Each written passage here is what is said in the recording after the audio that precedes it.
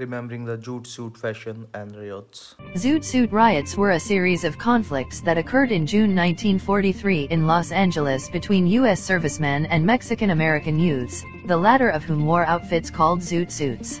The riots began on June 3, 1943, after a group of sailors stated that they had been attacked by a group of Mexican-American Zoot Suiters.